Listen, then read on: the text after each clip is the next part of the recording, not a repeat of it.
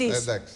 Τα ελεγκτικά όργανα κάνανε απολύτως τη δουλειά τους. Το ΣΟ το κάνετε εσείς. Δεν τα κάνουν και απέναντι. Παραδέχθηκα από την αρχή ότι υπάρχει πρόβλημα Δεν με πάμε και στο ανθρώπους κρανίδι, που έχουν κυρία Μακρύ. φοροδοτική ικανότητα. Στην Να Κρανίδι, πάμε είναι και στο δική εδώ. κρανίδι. Να πάμε και στο Πάμε κρανίδι. γιατί δεν πηγαίνουμε.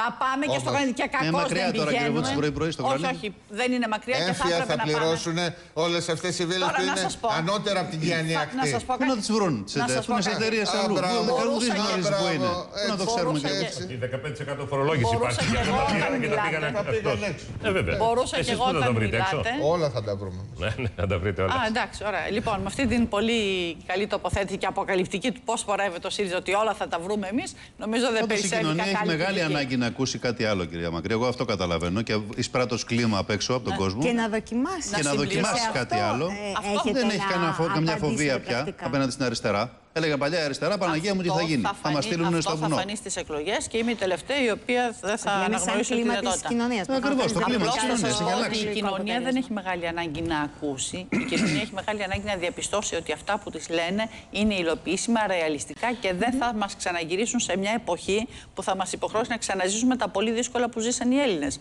Γιατί αναμφίβολα οι Έλληνες πέτυχαν τα καλά αποτελέσματα, τα οικονομικά μεγέθη που είπατε που βελτιώθηκαν, χωρίς να αλλάξει η καθημερινότητά τους. Όχι, χωρίς να αλλάξει. Πώς χωρίς να αλλάξει; Όχι, χωρίς, ακούσανε τη βελτίωση χωρίς η καθημερινότητα